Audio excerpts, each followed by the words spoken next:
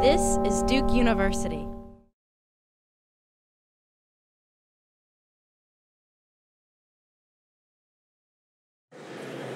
Good evening, everyone. Just think, you are missing a basketball game for this. You chose very, very well. My name is Norman Wirzba, and I direct the Henry Luce Foundation funded project called Facing the Anthropocene Rethinking Humanity's Place in the World. As you may know, the Anthropocene marks the moment when humanity, or at least some expressions of it, become a dominant planetary force influencing geophysical and life systems from the cellular all the way to atmospheric levels. If at one time people understood themselves to be dwarfed and limited by the various powers of nature, the situation now seems reversed. How should we think human agency or telos or purpose in this new context? What economic and political legal forms do we need to promote a livable, perhaps even a beautiful world for multi species flourishing? Our contemporary universities and their many disciplinary specialties up for the task. These are the sorts of conversations that we have been trying to host and catalyze over the last two and a half years. As part of our programming, we host each semester a university and community wide lecture and discussion like the one we have here tonight. I should also note that a senior team of scholars has been meeting for the last two years to look hard and fast at these questions. We will present some of our findings at a conference this semester here in this very room, March 26 to 28, at a conference called Hope for a Planet in Peril. And if you're interested, you can find information and registration, which is free, uh, at the Kenan Institute for Ethics at Duke. Just type in Hope for a Planet in Peril. It is now a great honor and unique pleasure for me to welcome and introduce tonight's speaker. James C. Scott is Sterling Professor of Political Science at Yale University, where he also has held appointments in the Department of Anthropology, School of Forestry and Environment, and the Institute for Social and Policy Studies. He also founded and co directed the Agrarian Studies program for multiple years. The list of his accomplishments and recognitions is extraordinary. NEH and Guggenheim Fellowships, being elected a fellow at Princeton's Institute for Advanced Study and the American Academy of Arts and Sciences, prestigious lectureships like the Tanner Lectures at Harvard, honorary doctorates and international prizes.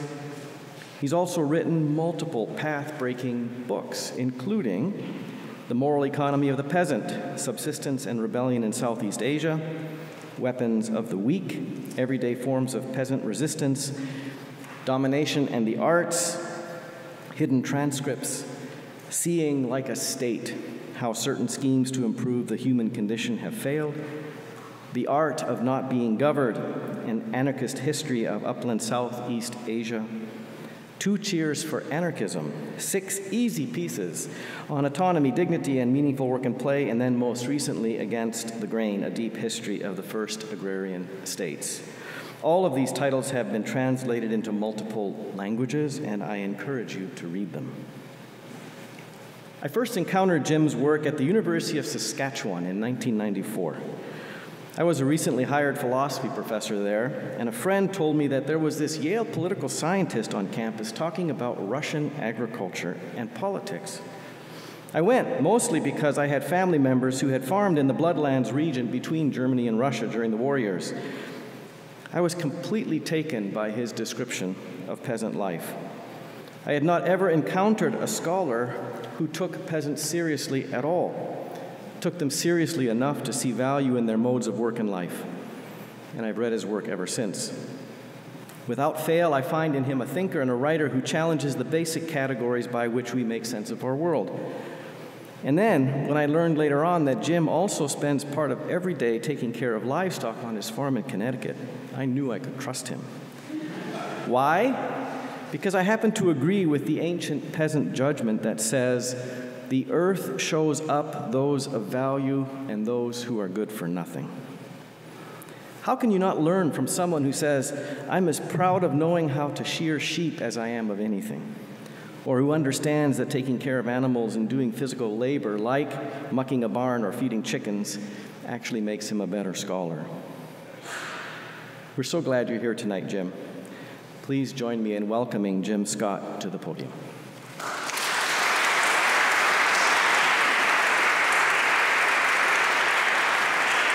Let, let, me just say that we will have a little bit of time for Q&A, so be thinking of questions that you would like to ask.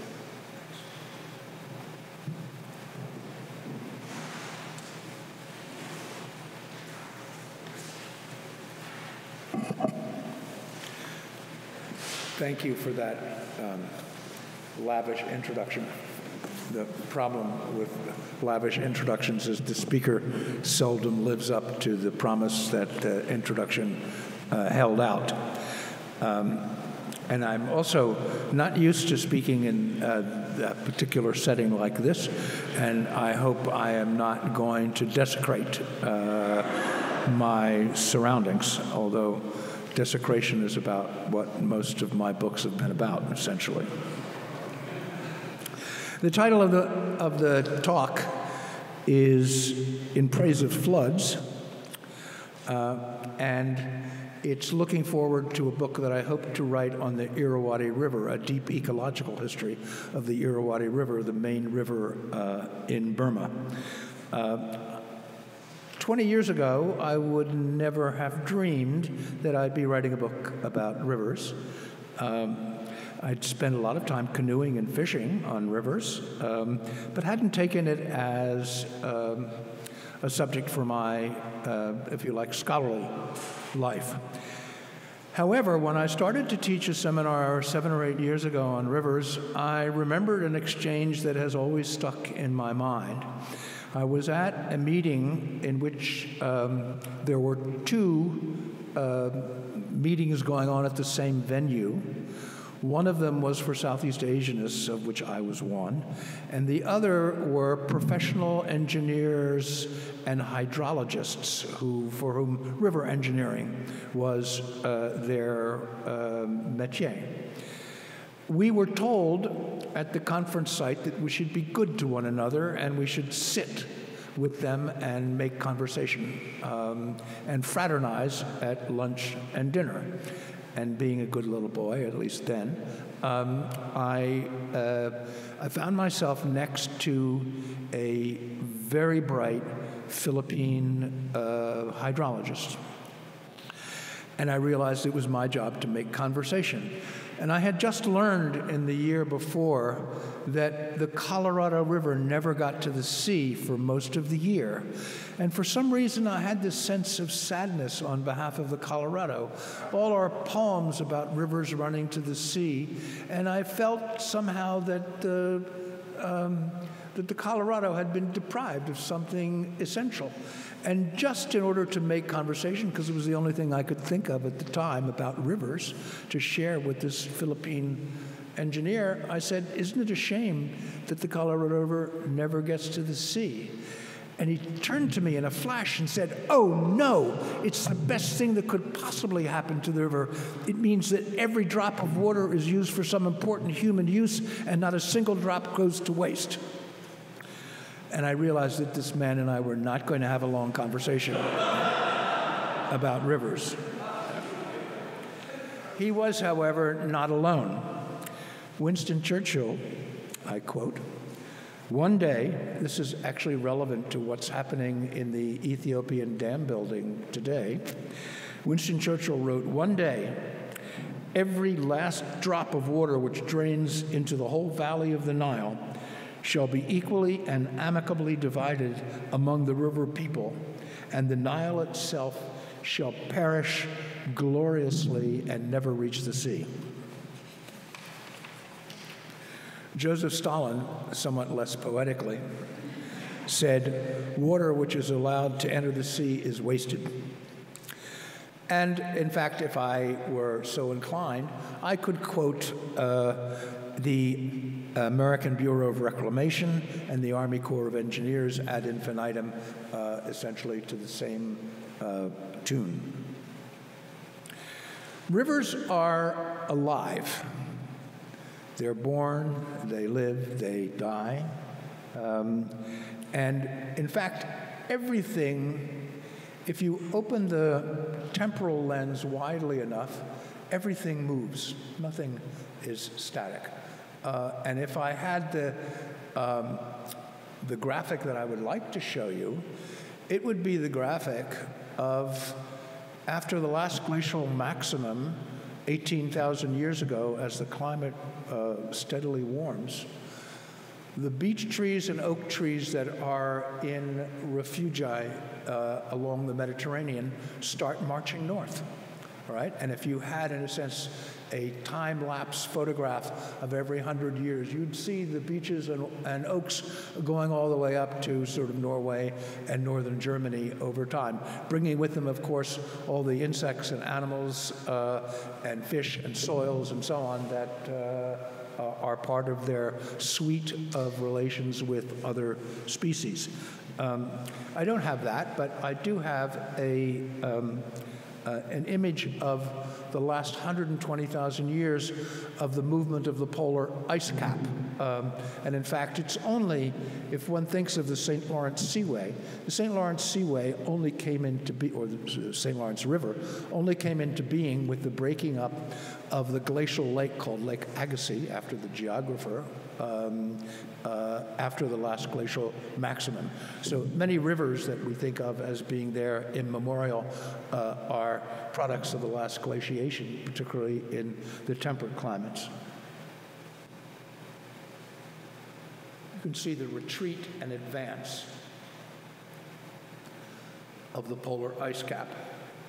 This is again starting 120,000 years ago, and it's only the very last patch will be the last glacial maximum 18,000 years ago, and you will notice how hugely um, what um, how much it extends uh, to the south. That's an earlier one there.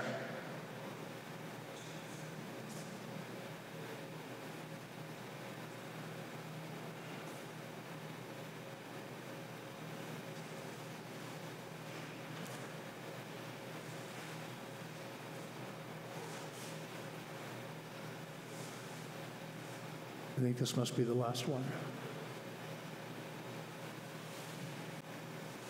Now, this is actually a kind of magnificent uh, map um, produced of the Mississippi River by the Army Corps of Engineers, and it's the last thousand years of its meanders and beds uh, and channels over time.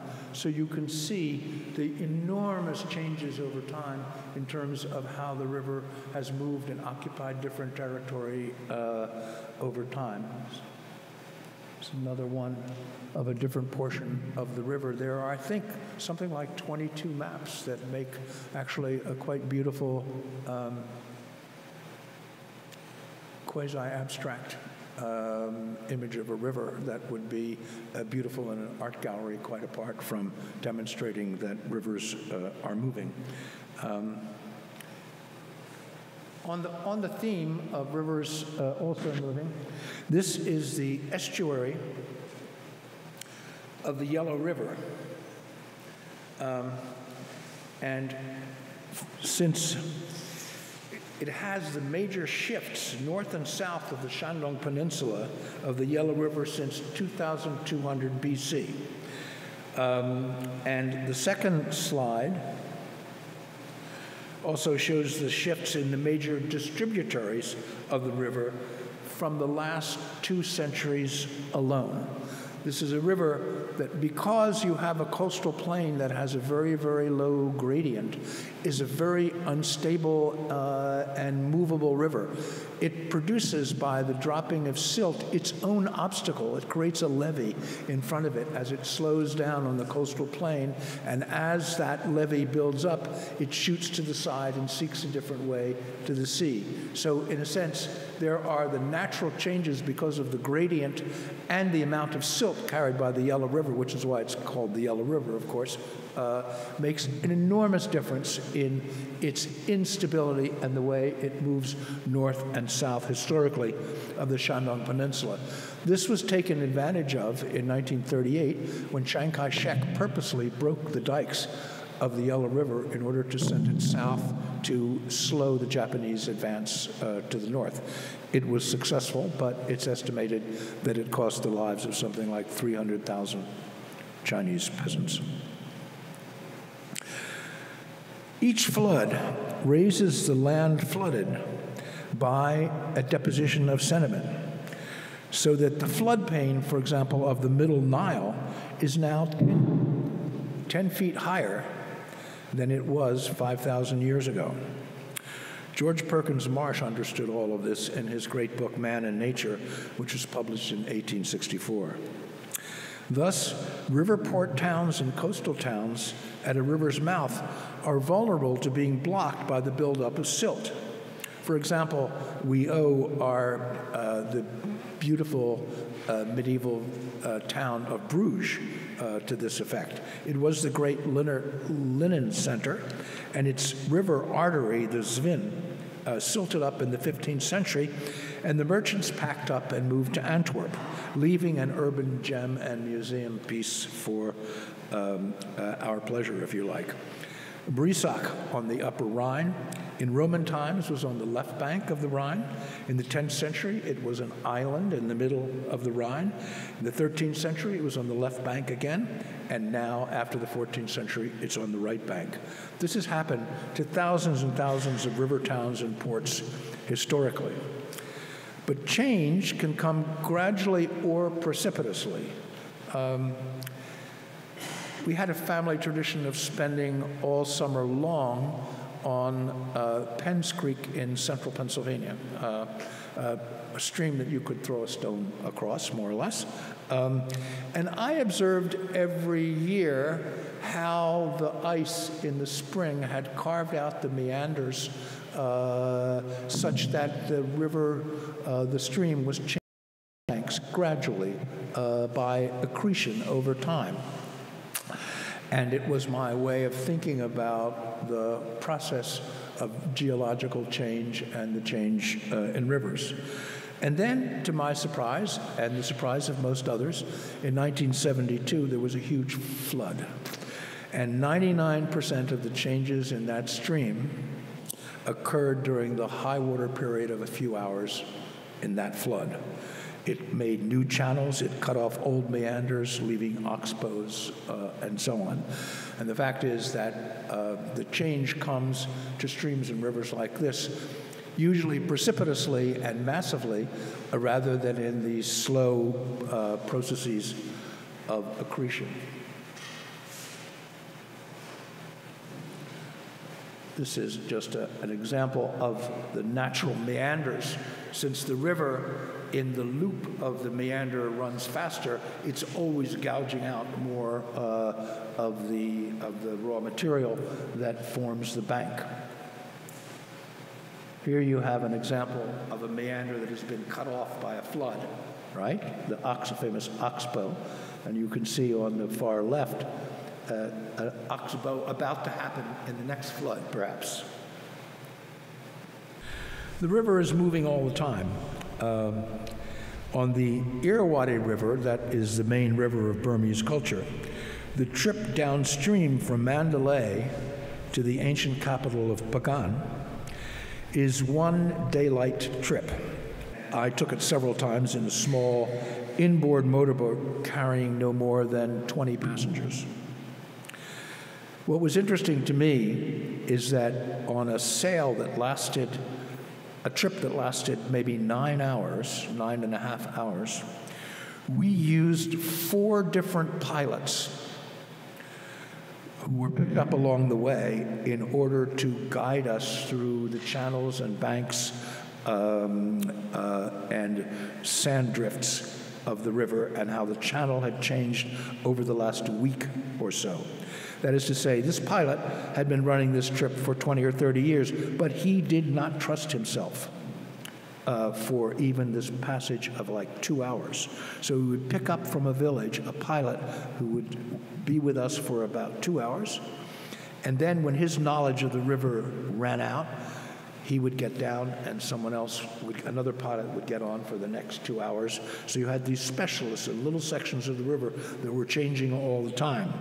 Um, and the fact is that the when you're going downstream, the dangers are much greater because if you run into a sandbank, the current is embedding you in the sandbank and it's harder to back off. Uh, and so um, it's, in a sense, that's the reason why uh, boats going downstream have the right of way over boats going upstream because if upstream boats get caught, it's rather easier for them to back off because the current is helping them back off. Uh, so, uh, those of you who are familiar with Mark Twain's work will notice that rather than twine, right, Mark, Mark Twain, uh, so many fathoms that uh, great bamboo poles, which are marked by um, demarcations of each foot, uh, and so there are people just like on the Mississippi at the front when they get to shallow areas of the river who are yelling out, you know, less than five feet, more than five feet, in Burmese, of course. Um, and that is the way in which, even with pilots, you need to have people who are taking constant soundings of the river bottom.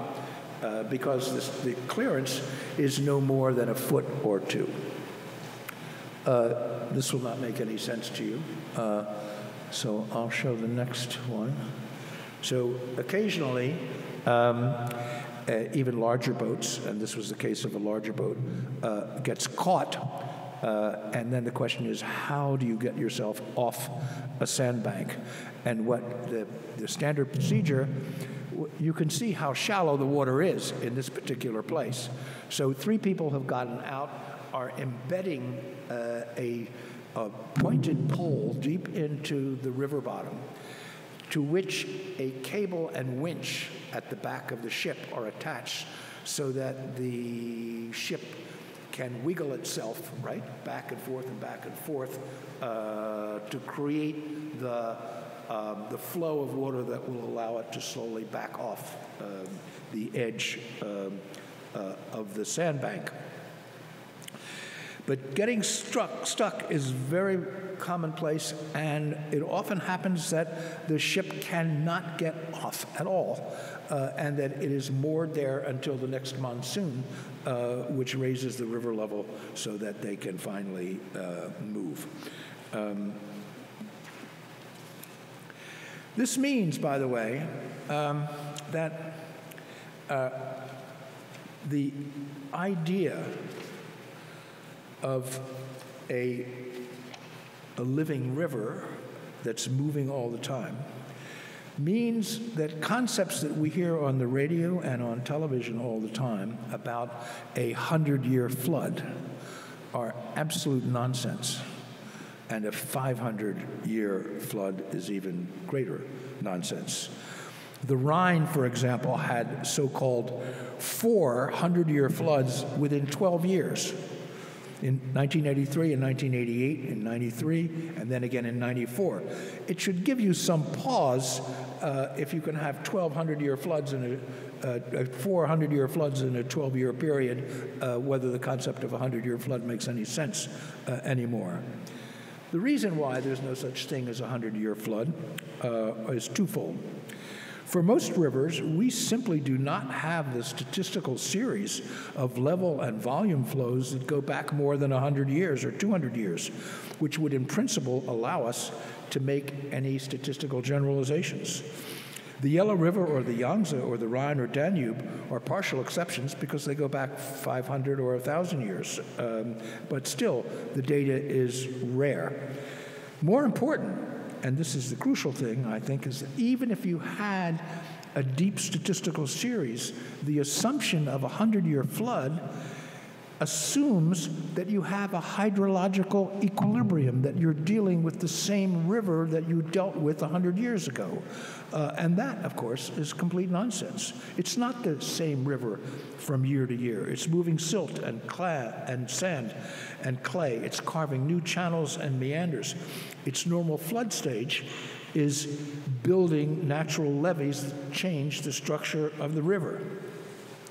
And if we add anthropogenic changes, that is to say, the river itself is modifying itself by its natural movements, but it is also being changed anthropogenically. So in 1800, for example, most of the Mississippi River's banks were forested. By 1960, 95% were occupied by agricultural crops, and therefore the runoff was far faster, and water that would have taken three weeks to get to New Orleans from Minnesota uh, only took four or five days. Uh, so, the most reliable aspect of river movement is what is called the flood pulse. It's the most important movement in the annual life of a river. It's that part of the year during which the river overflows its channel banks and occupies its habitual floodplain. The pulse of high water may come from the monsoon, from snow or glacier melt, from seasonal rainfall, and it may be of different degrees of variability. But it is a completely natural part of the annual cycle of a river. The flooding of the floodplain represents the lungs of a river. In a literal sense, the condition of its vitality and that of the creatures who depend upon it. Without the annual flooding of the floodplain and the channel, uh, we usually associate our pictures, our landscapes, and photographs of rivers are, is a river at peace in which the river is occupies only its channel. This channel, all by itself, is comparatively dead, biotically speaking. Flood is a scare word and is so deeply anthropocentric that I want to ban its use, but, but I expect I won't have much luck. It's just the river breathing deeply as it must. On this view, we would understand a flooding of settlements near the river as a result of Homo sapiens encroaching on the natural floodplain to be the crime of trespass against the river. The periodic flooding of the floodplains is um, the life world and the condition of existence of all the species that inhabit the river or who dwell along the river.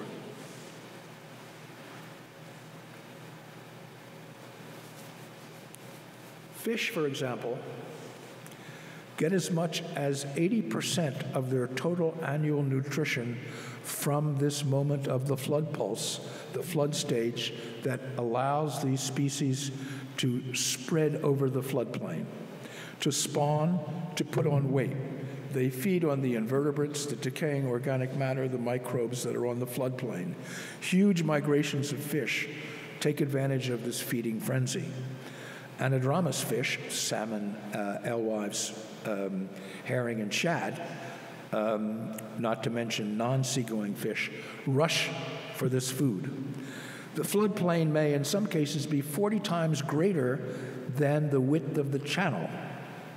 In the Amazon, there's a huge variation uh, in water level uh, and in the size of the Amazon, depending on the season. There are even in the Amazon fruit eating fish. When the water gets very high, it reaches the lower branches so that the fish can actually take the low hanging fruit, if you like.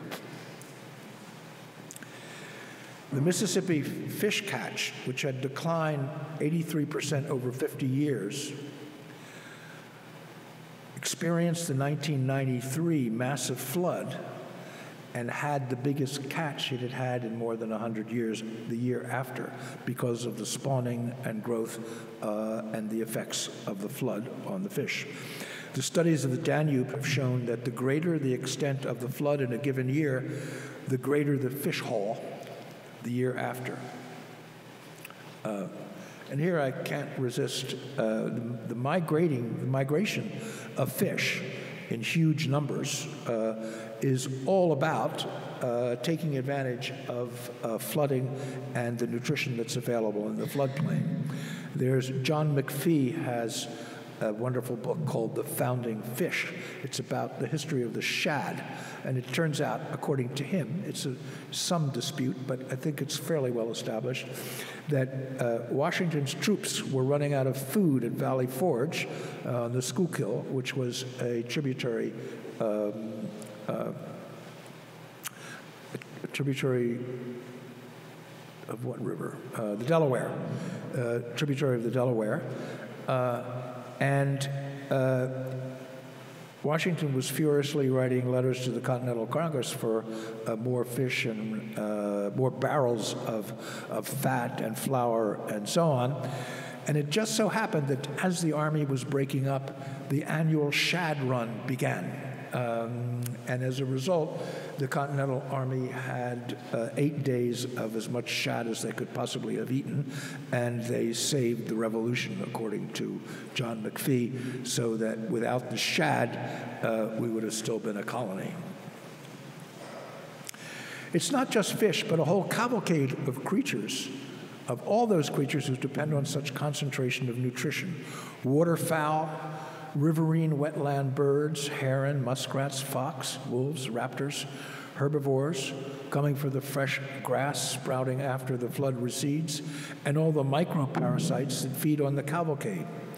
As the flood recedes, much of this nutrition returns to the channel, where some of the larger fish, like channel catfish, benefit as well as the comparatively immobile shellfish, clams, and bottom feeding larvae. That is to say, the nutrition that exists within the channel is itself a gift of the flood pulse and the return of all this nutritional material back into uh, the channel. What the flood does, in one sense, is to provide connectivity. Um, it moves water over the landscape, creating a huge variety of habitats. There, it creates backwaters, ponds, and marsh environments, and slow moving warmer water where refugees from larger predators can take refuge. Um, it has varied assemblages of food and habitat that favor different riverine species.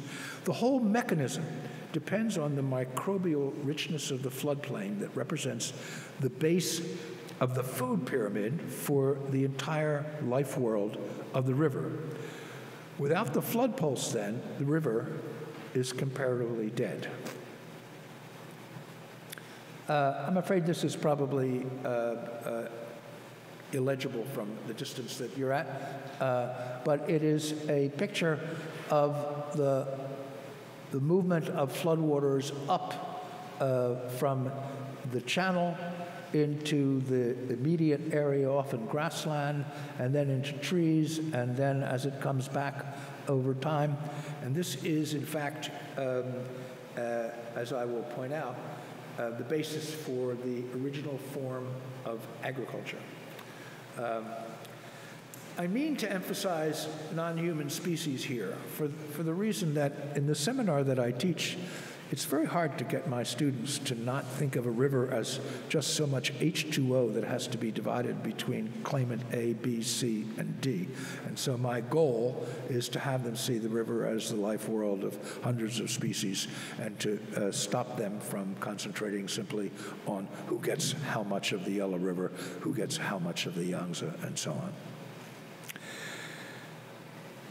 I do, however, let me say something about what the flood pulse does for Homo sapiens, the most numerous and successful invasive the world has known. Well, it's responsible for civilization. No floodplain, no civilization. Almost without exception, all archaic civilizations were founded on floodplains, often near the estuary of a river. Why? It's the only place where you can have a concentration of foodstuffs and people in a small circumference in which state making is possible. See what the flood does. First of all, it drowns all the competing vegetation. It does the weeding. It lays down a layer of nutritious silt that provides nutrients for crops, usually cereal grains. It provides, if well behaved, as in the Nile Valley generally, a perfectly harrowed field ready for sowing. No plowing needed. All you have to do is broadcast the seeds. Hence, the oldest form of agriculture was flood recession agriculture or flood retreat agriculture.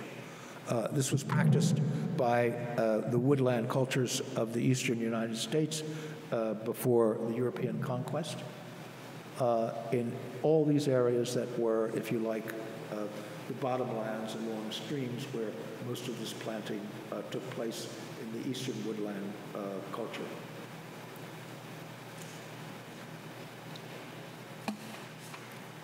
It's still practiced around the world, I might add.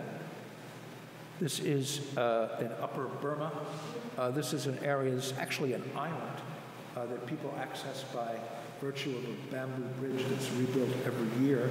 And it's a huge island that is totally uh, flood retreat agriculture, and it's competed for by uh, neighboring villages because it is the most valuable uh, property, agricultural property you could possibly uh, imagine.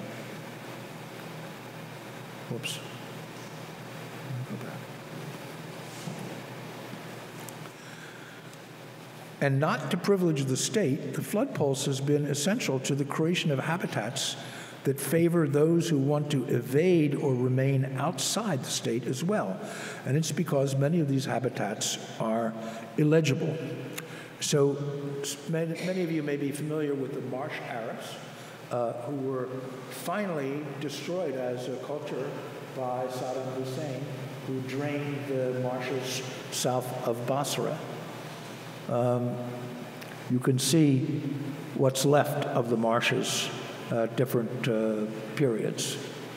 Um, this is actually the habitat of the marsh Arabs, many of whom lived on, who were escapees from other parts of uh, Iraq and, uh, and neighboring states, uh, getting away from taxes, from, uh, from the law such as it was, uh, deserters,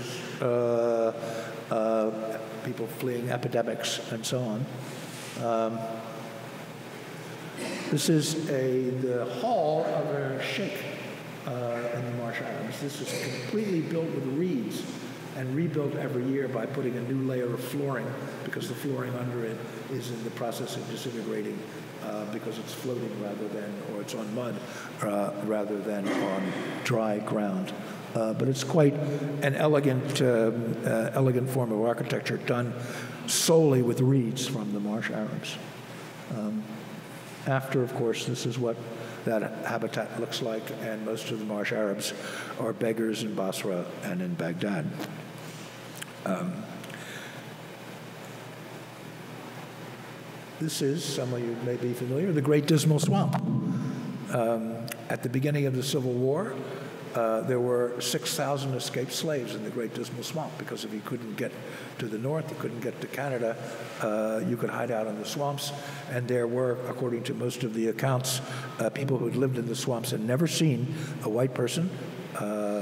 Uh, Native Americans were also uh, in the Great Dismal Swamp, and it was a place where you could disappear and not be sought successfully by the law or slave catchers and so on. For those of you who haven't read it, um, after Uncle Tom's Cabin, Harriet Beecher Stowe wrote a less successful but better book called Dread uh, about the Great Dismal Swamp. Uh, and if you haven't read it, uh, I recommend it. It's her, partly her penance for things she thought she got wrong in Uncle Tom's Cabin.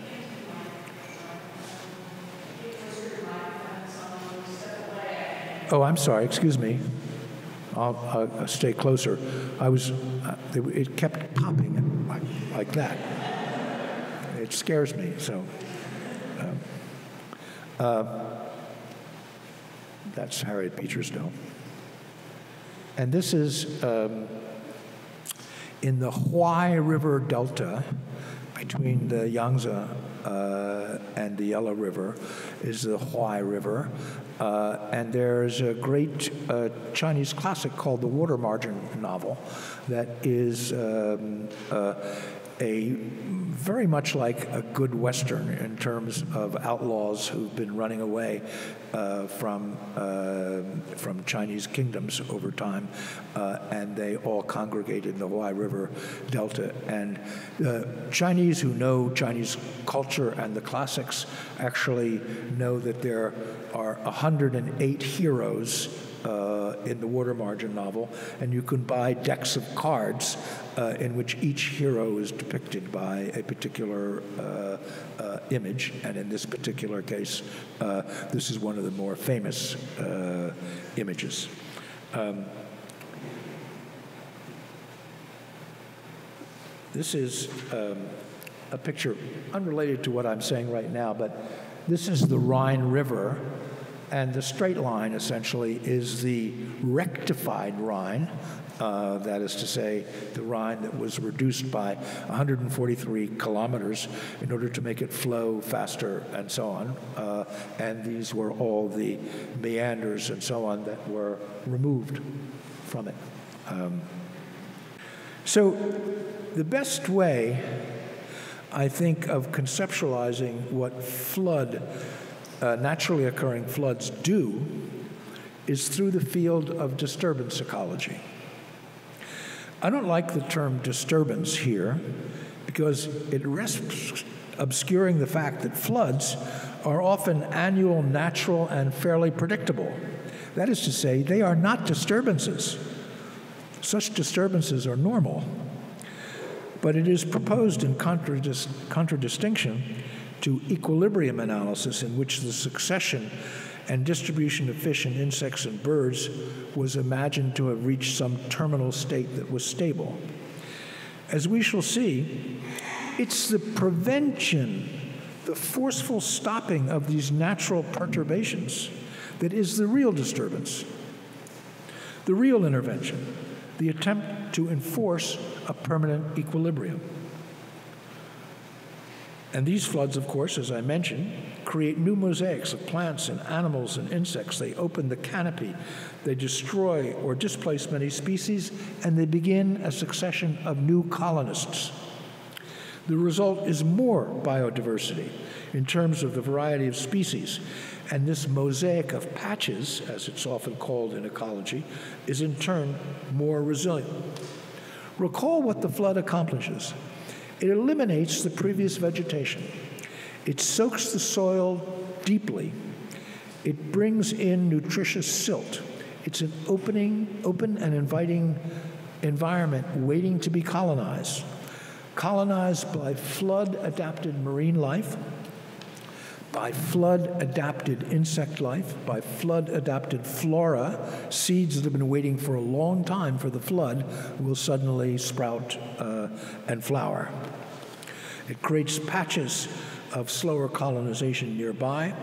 It's a favorable spawning environment for a whole selection of fish, insects, and birds who do best in these uncrowded, open environments that the flood creates.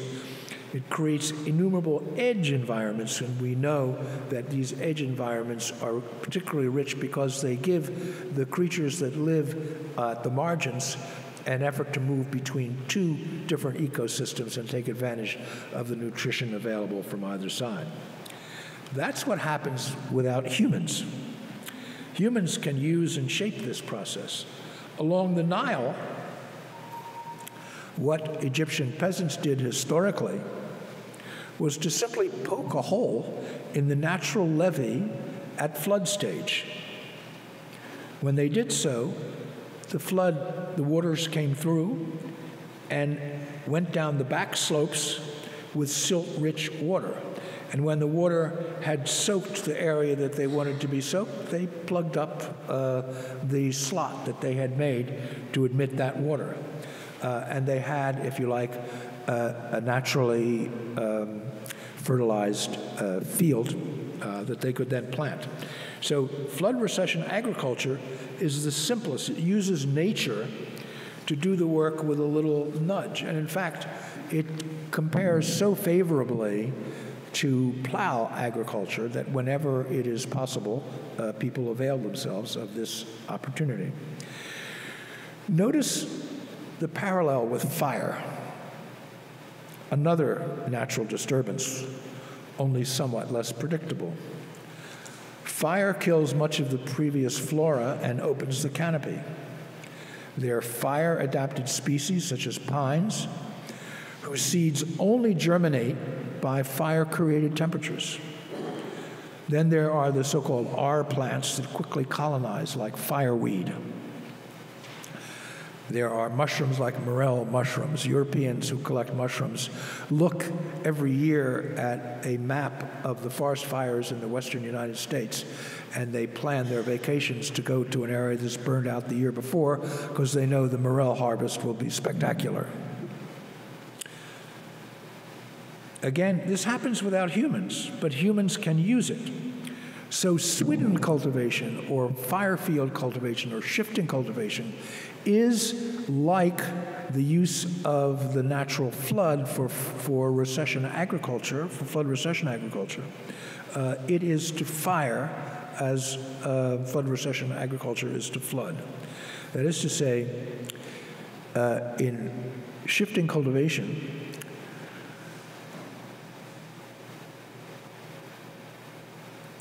the growth that has happened in the, over the last 20 or 30 years is slashed and left to dry uh, by opening the canopy.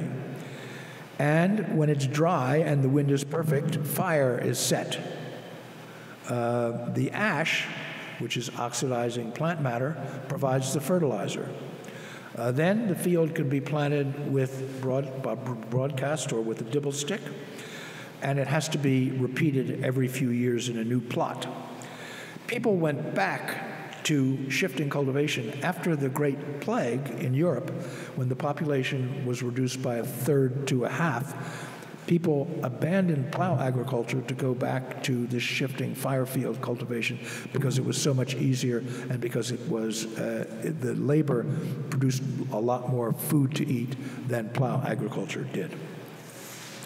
It is the equivalent of flood recession agriculture, where fire does the work of water. And fire and flood, of course, are natural phenomenon. We have, over time, by engineering rivers, we've tried to sculpt rivers for our purposes. Um, but only with the invention of dynamite in 1870 and subsequent earth moving machinery and reinforced concrete has the sculpting taken on protean proportions. It's more like a combination of taxidermy, taxidermy and amputation, I think. Uh, rivers were simplified, and uh, I say simplification because the intervention was often for a single functional purpose. The Rhine is the first striking example. Johann Gottfried Tulla, around 1800, actually organized the signing of a treaty called the Rectification of the Rhine. I love the term because it looks as if God made a mistake and we're going to fix it here. Um, it was an actual treaty. It eliminated meanders. It remo removed barriers in the channel. It confined the river to a single bed with no braids, uniform with uniform depth, uniform speed of current, ideally, uh, to make it into a canal. What they wanted was a canal, and they re engineered the river in order to make it as close to a canal as they possibly could. Predictable, uniform, straight, obeying Bernoulli's principle of pressure and turbulence. Take a variable and turn it into a constant. The Rhine was shortened by 105 kilometers and it lost 80% of its floodplain in the Upper Rhine. There are efforts to restore some of that floodplain in a kind of Disneyland sort of way by theme parks of what the uh, floods used to be like in terms of the wetlands they created. Uh, so that now a drop of water that lands in Switzerland that only takes three days to get to Holland whereas before it took something like 10 or 11 days. George Perkins Marsh understood this simple matter of physics. Let's say a river has a 1,600 mile course. Let's say the channel drops 800 feet from the origin of the river to the sea. That's a drop of six inches to the mile. By shortening the river, cutting off meanders, let's say you make it only 1,200 miles long.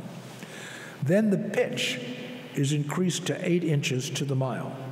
It may not seem large, but it has tremendous effects on speed, on how much silt the river can carry, on the height of possible flood crests, and on the erosion of banks. And if you try then to minimize floods by preventing lateral flow of the river water with levees, you increase the amount of silt carried to the mouth. The Dutch, of course, paid the price for that with the, with the, the buildup of silt in the estuary uh, at their ports. Uh, Aldo Leopold of Sand County Almanac fame wrote that uh, the Germans had a fondness for unnecessary outdoor geometry. There are other simplifications hydroelectric dams and irrigation. Uh, hydroelectric dams essentially create a chain of lakes, still water, destroying fish migration in both directions, preventing the national, natural conveyor belt of silt downriver, preventing natural movement. So the question is when is a river still a river? That's a metaphysical, metaphysical question that I uh, I can't answer. I had a colleague at the University of Wisconsin, and I remember a similar quandary. Um, the, the, my colleague had a cat, and the first time I met the cat, it had just been, uh, it, it, was in full catness, if you like. Next time I saw it, it had, uh, it was a female cat. Um, it had been spayed. Uh, next time I saw the cat, it, uh, they had cropped its tail for some reasons I didn't understand. Uh, and the last time I saw the cat, it had been declawed um, because it was tearing up the furniture and so on. So it led me to ask myself, how many things can you take away from a cat and still call it a cat? All right? And in the same way, I want to sort of pose the question of how many things can you take away from a river and still call it uh, a river? It uh, has lost almost all of you like its natural movement, its natural organs, uh, and so on. You may call it a river, but it is it has lost almost everything that conveys its riverness. The uh, Flood control along the Yellow River uh, was probably, the Yellow River is the most meddled with river uh, probably in history. Maybe the Euphrates would be uh, competition. Um, the growth of population and levees, the deposition of silt raised the bed, and the effort to protect the tax-paying population of cultivators meant that the levees were constantly raised. The result of this is that the river, having nowhere else to deposit its silt, deposited, deposited its silt at the bed of the channel. And the result is that in Kaifeng, the river is 33 feet above the surrounding plain. It's not a river, it's an aqueduct, right? Uh, and it means, of course, that when you get uh, a flood, uh, when the river is raised to that uh, height above the surrounding plain, you get a catastrophic flood, a totally catastrophic flood. The drainage of wetlands for narrow ends of Homo sapiens also obeys the rule of single function replacing complexity and multifaceted uh, ecologies. Rohan D'Souza uh, has a study of the Orissa Delta in which he claims that the English, uh, in coping with the Orissa River, uh, they wanted land or water because you can charge for both of those things. The land gives you property and cadastral surveys and taxes, and water gives you water rates and so on. What the British couldn't, under, couldn't stand was mud uh, in the sort of Mary Douglas sense, mud was neither water uh, nor land, and their efforts were to turn all the mud into either land uh, or into water, and destroying the natural irrigation system that people had been accustomed to using before. The Kissimmee River in the Everglades is another example. How am I doing for time? Five minutes or something? Yeah. Um,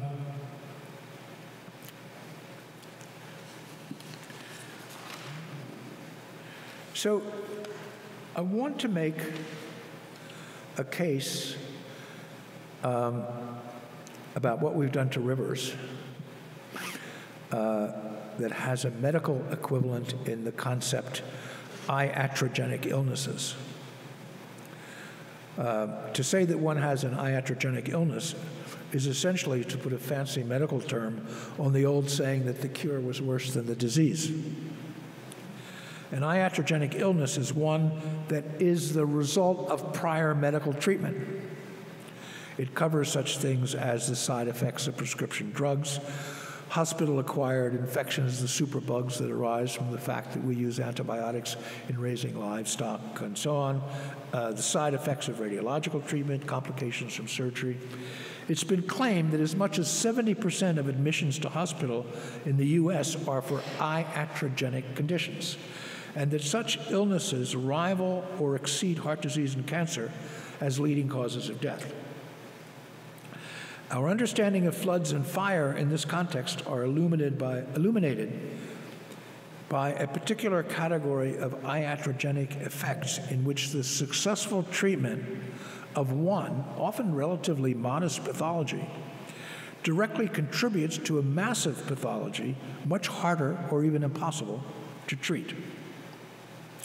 That is to say, the general use of antibiotics in livestock rearing to treat a variety of relatively minor bacterial infections and to compensate for the effects of crowding of huge numbers of livestock in a small space, encourages the creation by selection of pathogens that are increasingly resistant to existing antibiotics.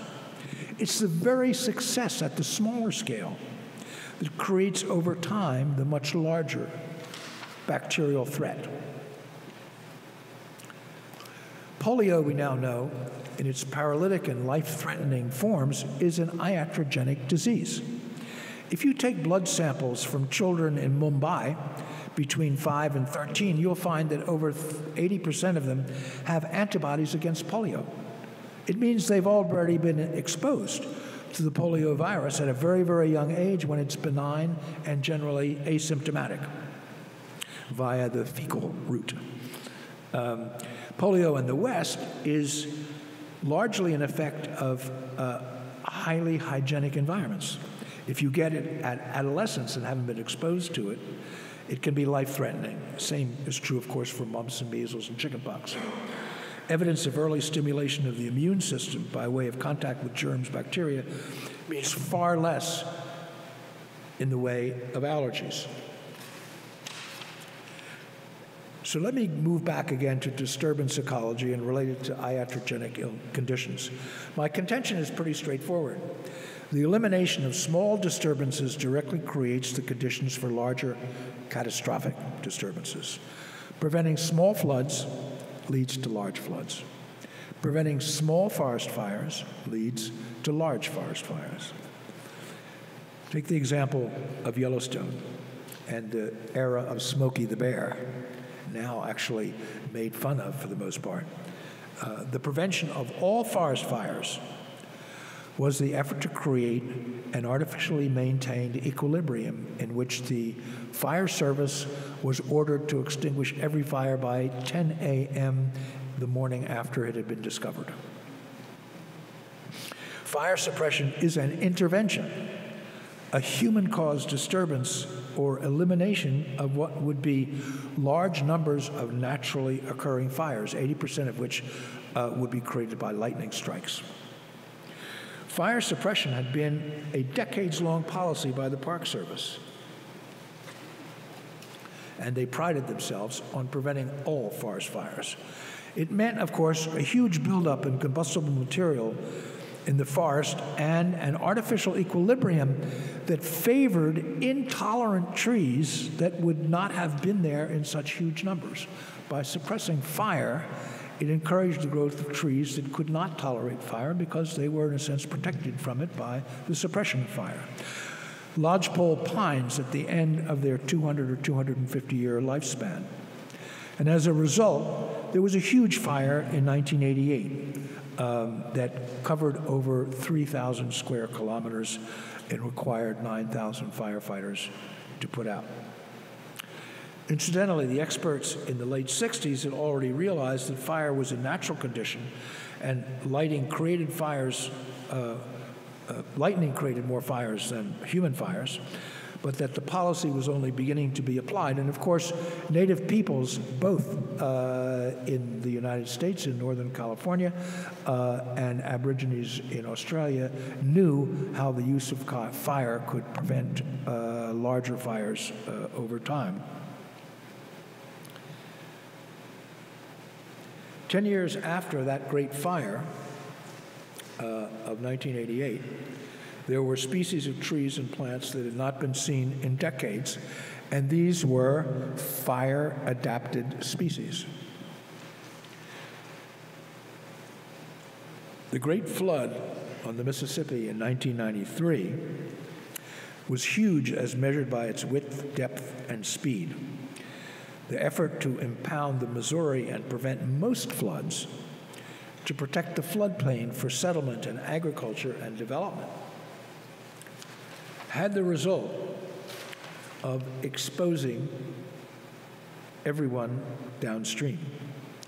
The draining and ditching of wetlands for agriculture and settlement no longer absorb and hold and slowly release the water from the flood pulse.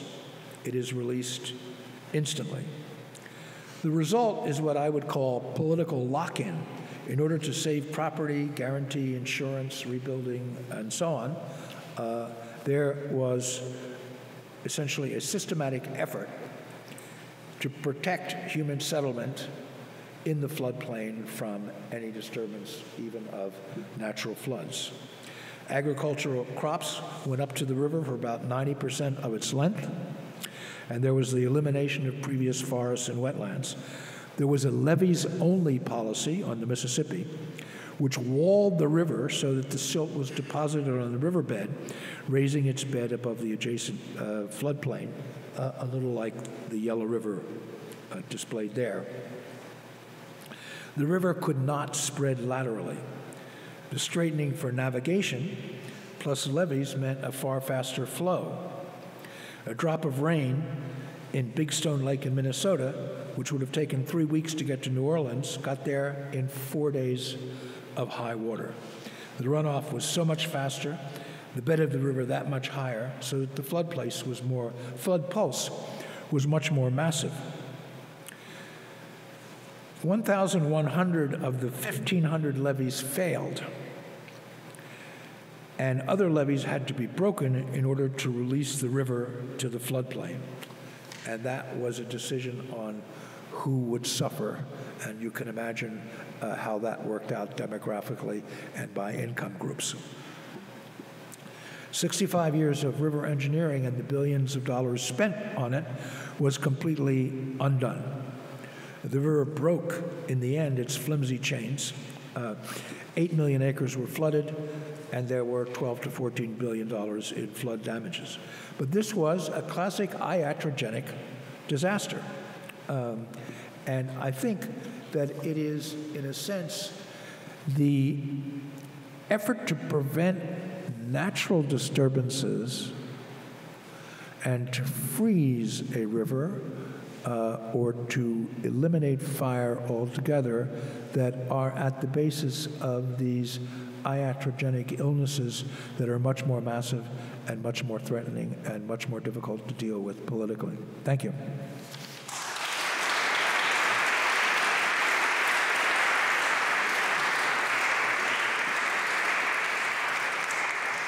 So we have time for questions. So if you have a question, raise your hand and we'll get a microphone to you.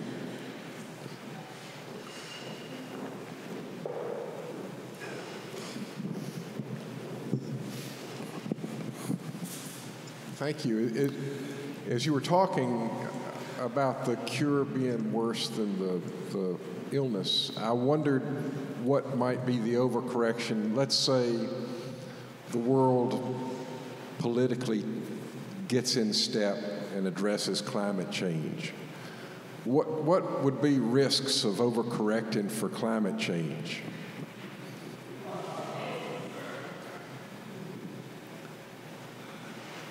It's interesting. I, I can't think that far ahead. Uh, That is, right? Uh, I, I, I, would like to live in a world in which that's the thing I worry about, right? Uh, but, but I don't. One of the things, one of the things that uh, it's not part of my talk, but it seems to me it, in terms of climate change, has to be in every talk, and that is that if I've got this right, in the year 1750, there were about three quarters of a billion, three quarters of a billion of us Homo sapiens. Now we're going on to 8 billion. So it seems to me that um, that is a sort of massive increase in the most destructive invasive species. Uh, and that has to be that has to be dealt with. The other thing, it's a, another statistic. Again, I'm getting away from my topic, but Vaclav Smil, uh, Smil, who's a, a, kind of wild, nice wild man, uh, uh, has done calculations that the rest of us would not ever think about. But what he did was to try to compare the total metric tonnage of wild flesh in the world to the total metric tonnage of domesticated flesh. That is to say, you know, elephants, zebras, blah, blah, blah, uh, on one side, and uh, um, um, industrial farming of chickens and uh, so on. And the ratio, even bracketing Homo sapiens, is more than nine to one domesticated over wild. I, I, I, don't know about the rest of you, but when I read this statistic two or three years ago, it, it, it never stayed far from my consciousness because if you want to know how much of the wild world is left and how much is gone, uh, that's the only statistic you know, you, you need to know. Uh, it's quite astounding. So it seems to me that, that, that far from, far from overcorrecting, uh, I mean, there may be, nature may be doing some correcting too. Uh, I'm not uh, capable of understanding the declining rates of fertility, sperm counts, uh, and so on. Um, and it's not my it's not my field, but I certainly am not worried by overcorrecting. Um,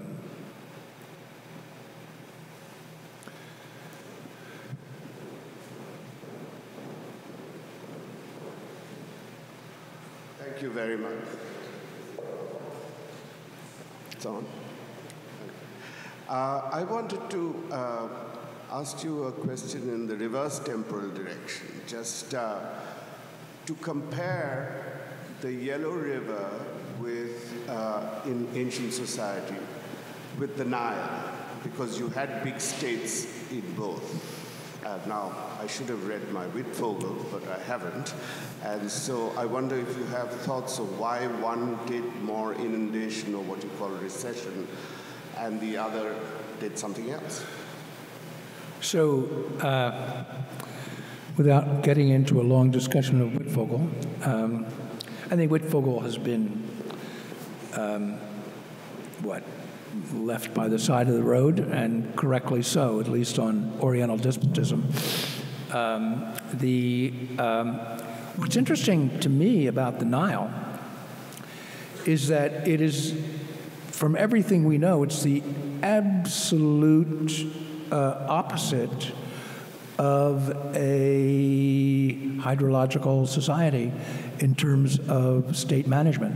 That is to say, all of the irrigation along the Nile was done village by village in keeping with a whole series of village traditions. And that may be because the Nile was a relatively well-behaved river uh, for much, uh, for many of the years, right? Uh, so you could depend on reliable and fairly gentle floods uh, and so on. But what's striking is that the state had nothing to do with irrigation. That was something organized at the local level of villages and the greatest pharaohs, uh, although they lived or died depending on whether it was a good year or a bad year, they did not take into consideration hydrological management. In the, in the Yellow River, um, it seems to me, I have the impression, and this is mostly from a fabulous book that will be published in the next year by Ruth Mostern on the history of the Yellow River, uh, that in a sense, by the time we get to the period in which, um, if Wittfogel is writing, uh, the periods that he's writing about, the Yellow River is already um, uh, has rates of erosion and loss of cover and becomes a radically, uh, what's word I'm looking for? An erratic, an erratic river. Uh, and that is particularly when it gets to the floodplain, the, the, the Shandong Peninsula, uh, there it becomes probably the most erratic river in the world. Uh, and so I don't, I don't see any evidence. What, what I do see is the following evidence for Wittfogel, and that is that once you have an established rice growing population on which you depend for your taxes, uh, for your manpower, for your corvée labor, and so on, you then have an interest in building levees in order to protect that population and keep it in place, right? And so, in that sense, I see you shaking your head.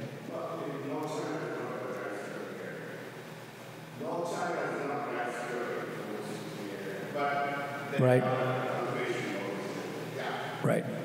Uh, because, the yellow, the upper parts of the Yellow River are deforested very, very earlier, earlier than I had ever imagined, according to Ruth Mostern.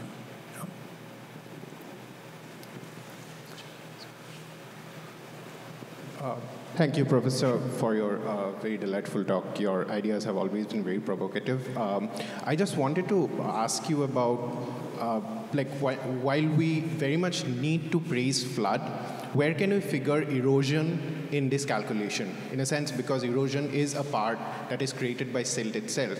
So for South and Southeast Asian rivers, how can we figure erosion in this calculation? Say that, say that again, please. Uh, I'm saying erosion, like erosion of the banks, not the sandbars in the middle, but erosion of the river banks. How can we, how, how do we need to frame that in the calculation of floods? So it, it seems to me, if you want to think of this as a hydrologist or physicist might, that every river is a conveyor belt taking soil, sand, uh, and small stone, stony materials um, downriver, right? Uh, and over time, of course, the river is changed by, uh, by all of that. And so the, the erosion of banks it's not as if uh, the river, uh, how shall I put this? The example we saw, let's say, of meanders that are cut off and create oxbows.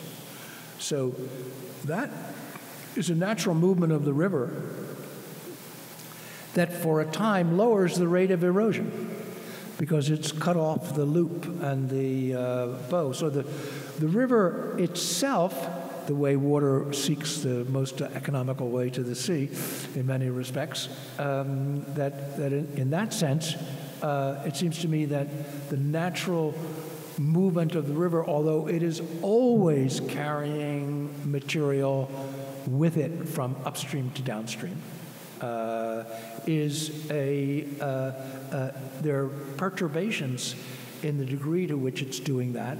And I guess um, this is a guess.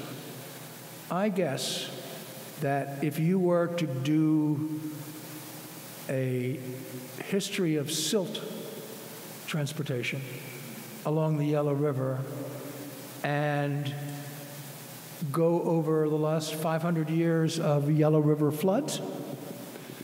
My guess that there are probably a dozen floods that would account for most of the silt.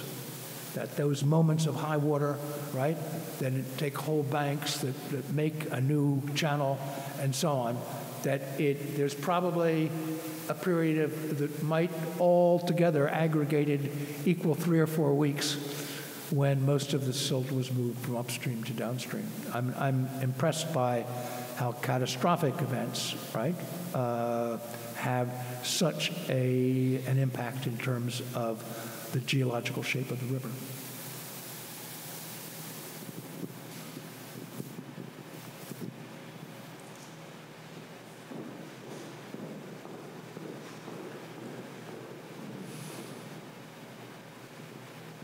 Thank you for the talk. This, this is a kind of comment to uh, invite further reflection on one section of the talk around the kind of relationship between rivers and different political formations. You've kind of talked about how marsh areas were uh, lent themselves to more kind of anarchist formations that echo some of your earlier work around uplands and kind of fleeing um, there's, a, there's, a, theory that someone like Carl Schmitt picks up on that political formations, we, we, tend to imagine them in relation to land, but actually we should imagine them in relation to uh, water formation. So earliest empires were fluvial, then you, the kind of mastery of the sea allows a, a next scale of formation, and then the kind of final formations mastery of the oceans led by the Dutch, Spanish, and British, and then that allows a certain scale and the kind of creation of singular space and time uh, for both trade and political communication over much larger areas.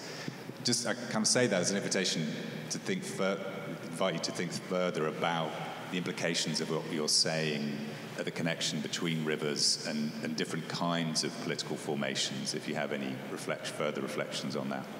Well, I, I, there's part of me wants to give it back to you, uh, and that is to say, it makes me think of um, Fernand Braudel's The Mediterranean World, in which, in a sense, the, although you have all these civilizations that are, that are based on alluvial plains, uh, they can be even upland alluvial fans, for that matter, although they tend to be smaller states.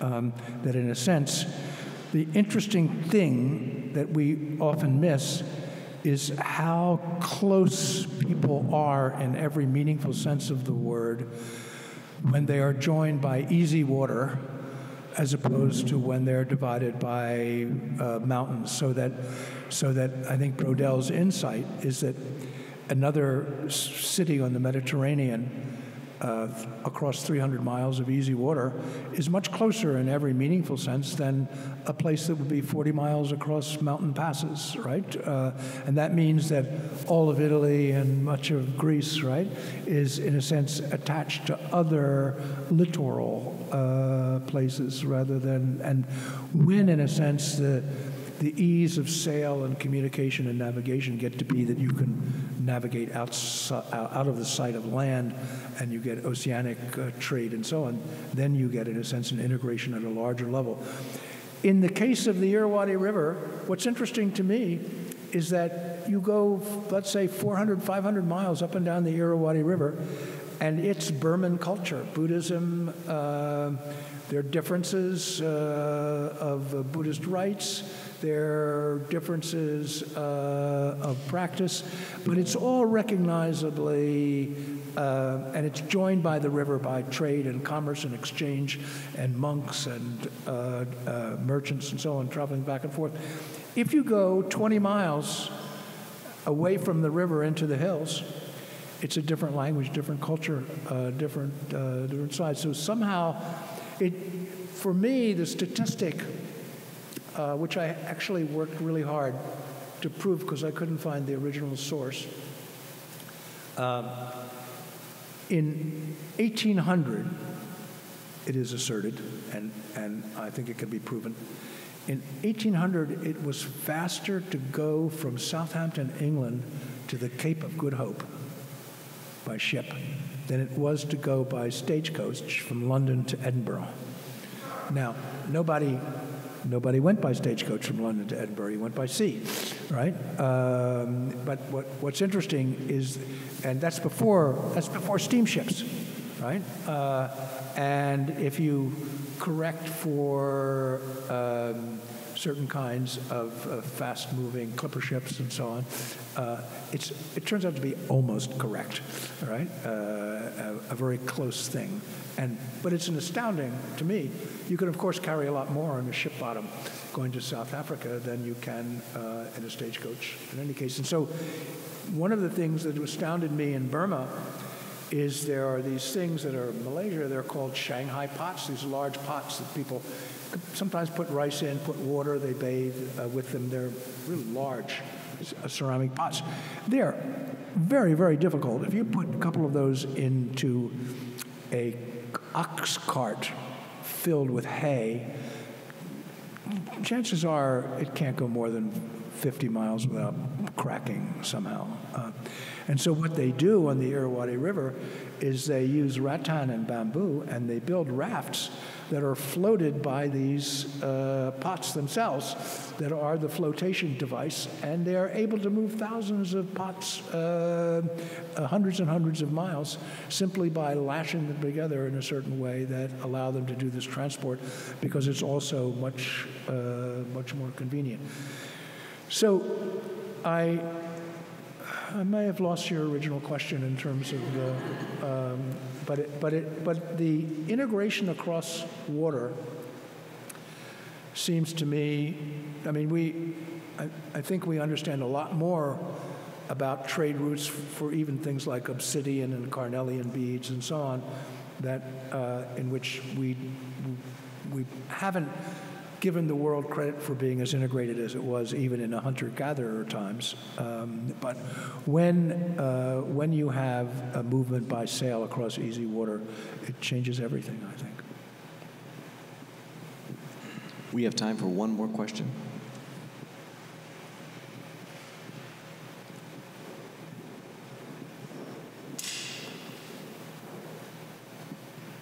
Thank you very much.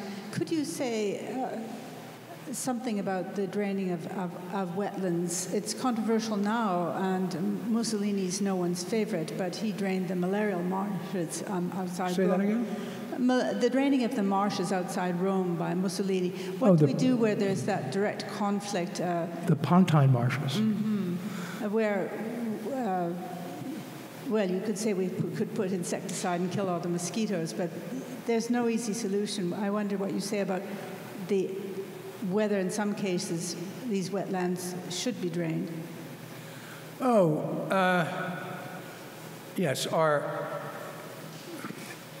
again, I don't want to take, I have a lot to say about this topic.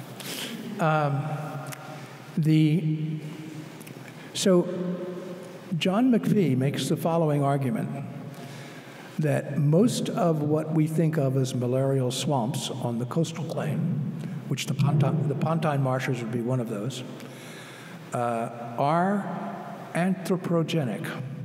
And his argument is as you deforested the, um, uh, the headwaters of these rivers, they transported more silt to the coastal plain. And there, uh, as the water slowed, because the coastal plain had a very low gradient, was nearly flat, it would drop its silt and it would block its own way to the sea and it would spread to the side and create these malarial swamps. And so he claims, more or less in passing, without giving a whole lot of evidence, that most of the swamps we associate in coastal plains are the creation of deforestation uh, upstream from most of these rivers.